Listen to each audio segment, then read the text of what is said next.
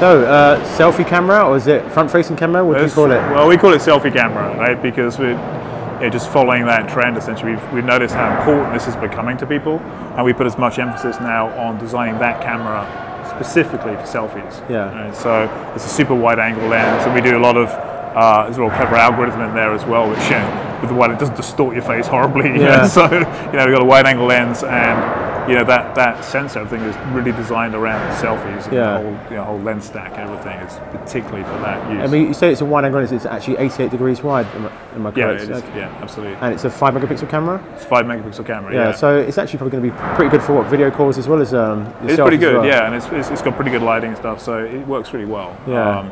but you know, we know pretty much most people's arm distance, so Yeah. you know it's pretty straightforward. You know, Yeah. we can you know uh, control that environment pretty I well. think I think also what impressed people as well is how you get access to the front-facing camera as well. That you made it so simple. Just the one to- swipe? Just one swi- Yeah. swipe as well, and even the the self timer as well.